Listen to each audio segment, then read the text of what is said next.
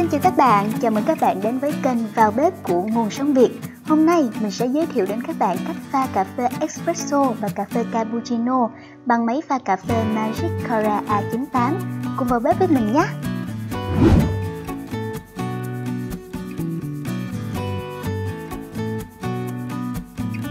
Đầu tiên là cách pha cà phê espresso nhé. Bạn mở nắp và cho lượng nước vừa đủ vào bình chứa. Ở đây mình cho lượng nước đủ cho 4 ly espresso.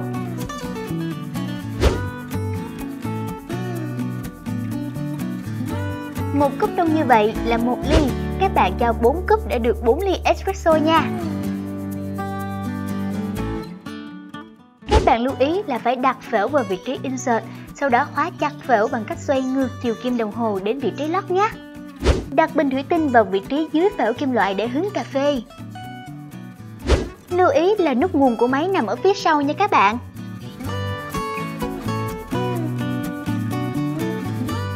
Chỉ với 2 phút là chúng ta đã có ngay ly cà phê espresso rồi đó. Thật nhanh chóng đúng không nào?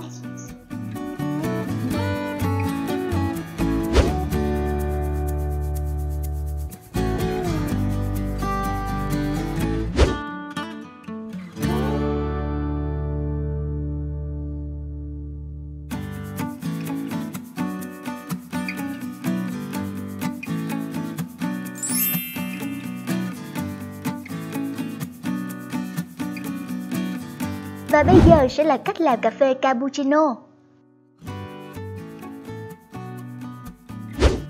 Bạn hãy chuẩn bị một tách espresso như đã hướng dẫn ở phần trước. Sữa tươi sau khi được làm lạnh 30 phút, bạn hãy cho vào ly một lượng vừa đủ.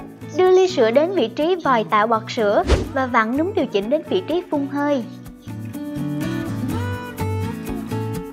Chờ khoảng 20 giây sẽ có hơi nước thoát ra để tạo bọt sữa.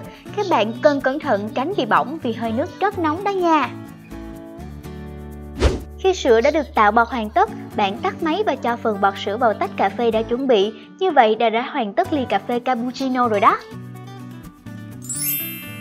Thật đơn giản và nhanh chóng đúng không nào? Hãy cùng thưởng thức với mình nhé!